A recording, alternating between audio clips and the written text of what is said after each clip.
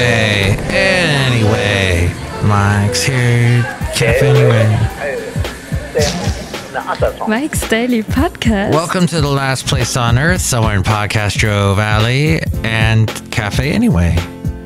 Hello, Spring. Spring is here. Mike's Daily Podcast. Spring has sprung, so it's time for Mike to sing to you and to everyone about the wonder that is spring and Christmas is the birth of the sun. But that's not this time of year, it's a different time of year, so I fear that my little singing was a little bit out of there and austere and sheer Mike's Daily Podcast. crazy.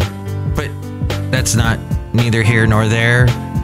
Hey, there's a cat on my lap Mike's again. Daily Rocky the cat.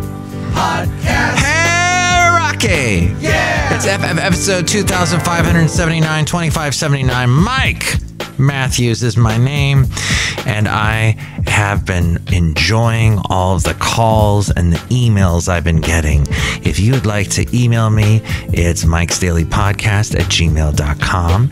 And if you would like to call me, it is 510, because that's where I am in the East Bay area of the Bay Area, 510 228 4640. That's 510 228 4640. No, I'm not going to talk like this the rest of the show. Well, more layoffs in the tech industry. More! More people without a job. More! More people not making, oh, upwards of $200,000 a year. More! So 9,000 more workers were laid off by Amazon. That's in addition to the 18,000 cuts they did earlier this year. They've been cutting, clipping away. It's been a barbershop of jobs. People's really exorbitant pay jobs are getting cut left and right by the barbers of the tech industry. Thank you so much for that haircut. And here's today's podcast picture. It's of my new haircut. No. I'm not gonna. Should I do that picture? I'm either gonna do a picture of me, because it's a podcast about me. Well, my name's in it anyway. It's not really about me specifically. Or it'll be a picture from Hayward of the beautiful. This. I pass by this beautiful little landscape every day, and lately it's gotten so green and pastoral and nice with the barn. And I really, I, I like this picture. Maybe I'll do this one. Whatever it is, see it at mikesdailypodcast.com. The late great Basil the Boxer and I actually walked in this area. It's called the Garin Trail. And he and I walked on that years and years ago. Gosh, maybe 10 years ago. And it was such a fun day walking along with my dog. Did I tell you I saw another boxer lately? The boxer's name was Frazier. Uh, the guy that um, fought Ali. Because apparently you got to name your boxer after a boxer. So I, I didn't name my boxer after a boxer. His name was just Basil because it was a fun name and he he looked like a Basil. But my cat has a name of a boxer, Rocky. So I don't get what happened there. I guess I'm a little late. I was supposed to name the dog that, and the cat maybe could be named Basil, but that didn't happen. But Microsoft is using OpenAI to make it easier for doctors to take notes. And you know, doctors, when they take notes, they do that scribble that you can't read. So maybe, maybe that's the, the issue.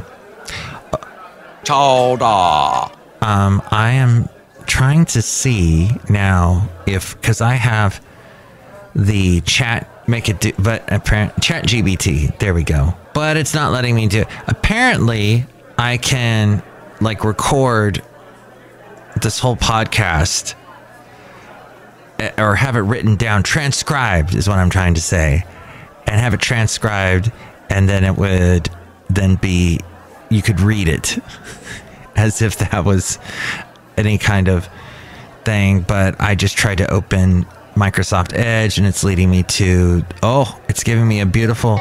We're so glad you're here. Welcome to Microsoft 365. Create, organize, and collaborate all in one place for free. Microsoft 365. It's all free. It's got intuit. You can intuitively organize your content your way. And then, of course, they try and have you do the premium. And you can, they, they got some things they can actually teach you. The front panel will close automatically. Okay. Please remain Well, seated. I can't get to apparently what I was thinking I could get to here. You're a very rude person. The way you treat Sarah Huckabee is horrible. And the way you treat other people are horrible. You shouldn't treat people that way. Oh, I pressed, I, I pressed the wrong icon. We live in a world of icons. Have you known that? I guess we have for a while. Humans are very icon driven. It's all about image. It's all about, ooh, what do you look like? So let's see if um, this allows me to do this.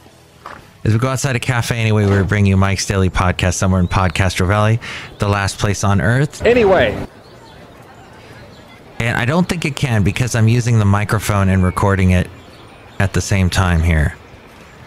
Uh, and yeah, all right. So that's what I've learned. And you've learned with me simultaneously what Microsoft is doing. We're outside a cafe anyway, somewhere in Podcastro Valley, the last place on earth. So apparently, Americans' total credit card balances have spiked to $930 billion we continue to be impacted by both high inflation and interest rate hikes. And credit card balances just ended the year with $930 billion. This marks an 18.5% increase over what 2021 had when balances were sitting at seven, $785 billion. So it just continues to go up. The average generation owes they owe, they owe. So off the work they go, try and pay off all this debt. Generation Z, on average, owes almost $3,000. Millennials owe, on average, almost $6,000. Gen X, Gen X, known as the sandwich generation, which means they are more likely to be supporting both their children and aging parents, they owe $7,000. And baby boomers, they're a little bit less $6,785. So, just what experts say the best way to get rid of your credit card debt is negotiate with your creditors, consolidate your debt, switch to a balance transfer credit card, or just bring in a, a professional to help you and try and work it all out. But I've never been the best negotiator, so I don't know about the first tip there. I try to avoid debt like the plague. I am debt averse. I am like any if I can pay that off, now I'm going to do it. And I've been trying to do that my whole life. And I've been lucky at it, but I know some people aren't so lucky. I know someone who got into so much debt, they just finally said that's it. And they got rid of all their credit cards. They paid them all off, got rid of the credit cards, and then went to a debit card, which is not always the best idea because if that gets hacked, then all kinds of issues can happen. And you can, uh, you know, they got instant access to your money. Real quick thing here someone I know is a huge Taylor Swift fan, and they wrote this up. Her 2023 tour, she is not a billionaire yet, but the tour this year that she does could make her a billionaire. She's always been a very money savvy person. I think her dad is a money manager of some sort. But you know, she is a 12 time Grammy winner. She broke into the music scene in 2006 with the song Tim McGraw.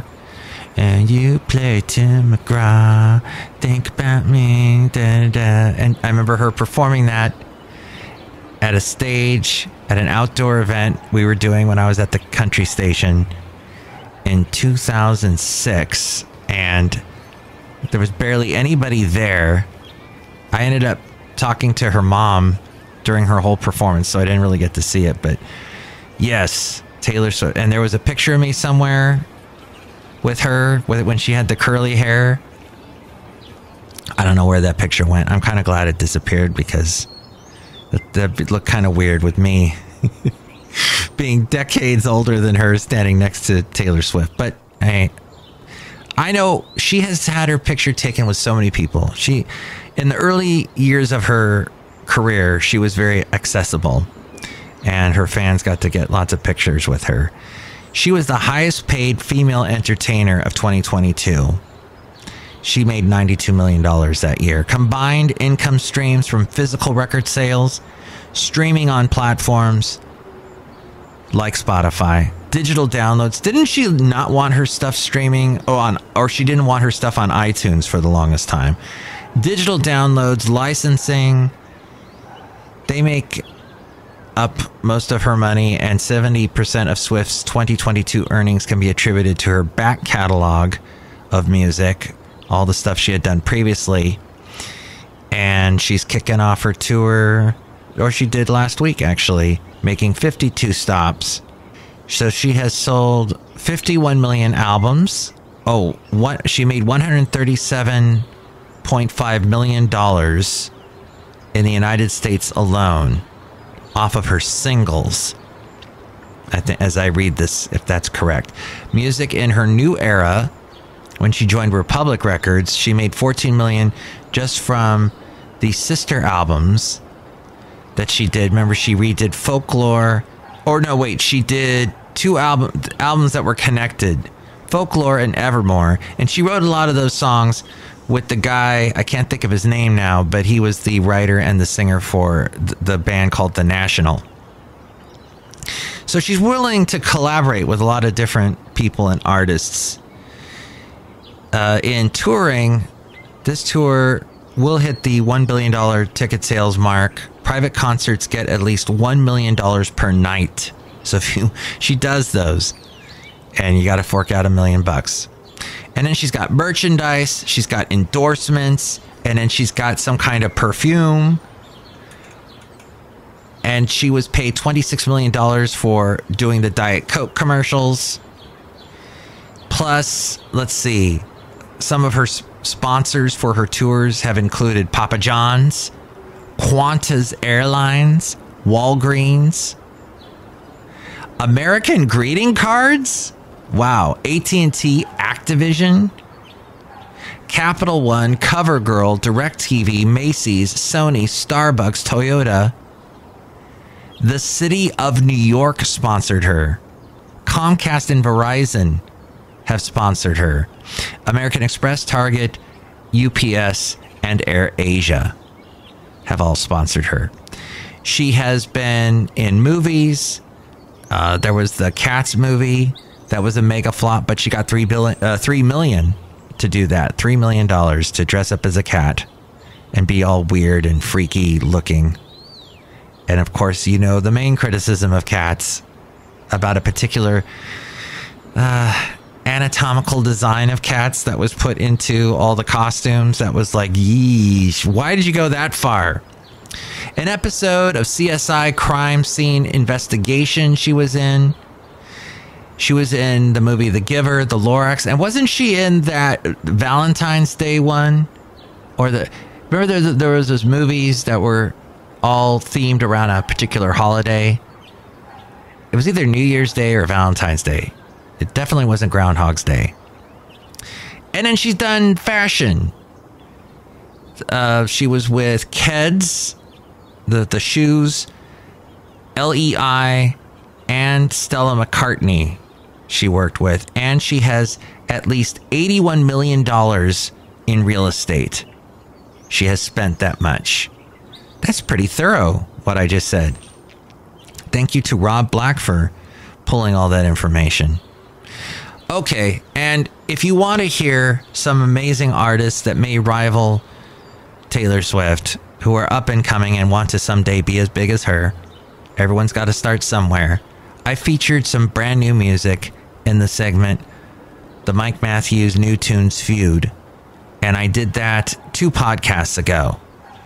It was FF episode 2560 76. 2576. It was called Green. And I did that. Nope. Nope. That's wrong. Sorry. It was the one Chicory. 2577. 2577. Finally, I would like to read this little bit for you in this money world of which we are talking about today. Somebody wrote this commentary Vanguard, one of the two largest money management companies in America, shocked the industry recently when they announced its withdrawal from an anti fossil fuels industry alliance. They withdrew from an anti fossil fuel industry alliance. The CEO, Tim Buckley, not only defended that move, but went on to say that Vanguard's research shows no benefit to ESG investing. That stands for environmentally something something. It's it's uh, environmental social governance a framework that helps stakeholders understand how an organization is managing risk and opportunities related to environment, social, and governance criteria. There we go. It takes the holistic view that sustainability extends to other things, extends beyond just environmental issues. Okay. So, Vanguard's research showed that there was no benefit to that and investment firms should basically stay out of politics and let boards of directors govern in the interest of their shareholders, not hot button political issues. This writer says it's been a terrible year for environmentally, environmental, social governance, and politicized capital. Anybody into the politicized using hot political button issues it's been a terrible year for those companies. BlackRock's been getting fired, uh, been getting fired by red state pension managers. Left wing proposals are getting voted down. And now one of the most prestigious names in finance is shifting its rhetoric and is shifting. So the shift in rhetoric alone is a big win, this writer says, for advocates of the separation of investment and politics says, okay, so that's a very interesting thing to say. Investment and politics should be separated. Let's see, what else should be separated from politics? Mm, religion? Church lady? Dana Carvey? If you watch this one Kevin Nealon, it's called Hiking with Kevin, that thing he does on YouTube. He's been doing it for five years. It's so fun to watch because when people are walking together and hiking and getting exercise and breathing in all this oxygen, they say things that are pretty profound and interesting. And uh, he's walking with, let's see, it's oh Fred Armisen, and they're they're in Griffith Park. They're in Southern California near the Griffith Park Observatory and Greek Theater and all that. And they're walking along in the hills, and the hills are dusty and dry. Even even this, which was done fairly recently, it's a little bit greener down there, but they're walking along. And suddenly Kevin Nealon goes, Oh my gosh, there's Dana Carvey. And Dana Carvey's jogging along on the trail. And they start to talk. And Fred Armisen says, You know, the character I do on Saturday Night Live for the Californians, Mike, what are you doing here? That was all based on the way Dana Carvey was imitating his own son. So Dana was talking to Fred, and they were in San Francisco before some comedy event. And Dana says, "Oh, my son," he says to Fred Armisen. "Let me tell you about my son. He he's he's like, Dad, I don't want to do that." And it was fascinating. And Dana Carvey said, "You know, to Fred, how long did it take you before you got calm and adjusted to working at Saturday Night Live? Because you were on Saturday Night Live for so many years." And Dana Carvey said it took him about four years to finally calm down and not feel sick to his stomach every show. And Fred said, I forget what he said. I want to say he said around the same amount of time. To find out, you should check out that podcast because it's fascinating, those guys. And Dana Carvey he really took. He said once I came up with church lady, and that was early on. I got super popular, and maybe some of the younger people listening are going, "Church who?" Well, it was a thing back in the early 90s, and my mom loved that skit so much. But we're outside a cafe anyway, somewhere in Podcastro Valley. There's some people we got to visit with that did not take off and become really popular like Church Lady, but we love them just the same. Look who's here. Hi, Mark. It's Benita the Rodeo Queen. How y'all doing? I got my horse Nelly right here. oh, hi. Oh. Wow, Nilly is bumping into me and my microphone. That's too bad because that made that sound. yes. All right, I'll ask him. Why the long face? All right, look who else is here. It's a disgruntled fiddle player, tell you what. What? That is the oldest joke in the whole world. Why'd you have to bring it up? I think I haven't said that joke in a while, so yeah. Yeah, okay. Yeah, BlackRock, they got to take off and they better not touch my pension. Tell you what. What? The thing I just said about BlackRock. Okay. Let's see. Politics. I think that's really rich. Politics uh, and, and, and, and should stay out of, or whatever should stay out of politics. It's, and then, and then people, they don't notice the, well, you got my point. Look who else is here. Hello, Mark. I make root beer. Uh, have some. Uh, Why are you okay? yeah, I'm alright. Uh, I'm a little thirsty. I might drink that root beer. Hey, you just stole my root beer. Yeah, it's good. Drink it right now. Could you. I'm not going to drink the root beer that you just drank. What? What's going on? I will not be forced to draw. I'll have a little sip. Well, wait a minute. We're still in the uh, what's a, we're in the endemic world now instead of the pandemic world. Yeah, maybe I'll forego that. You'll just have to try and cut me. Oh, he left. Good. Okay, well, this show is short. It's not 49 minutes like the last show, and the show before that was something like 45. We're going to keep it short and sweet today, and brevity is the soul of wit and all that. Hey, thank you for listening. Tell all your friends, and you can chime in and tell me what you think about anything we covered today. 510 228 4640. And with ways to email me, here's A Frame.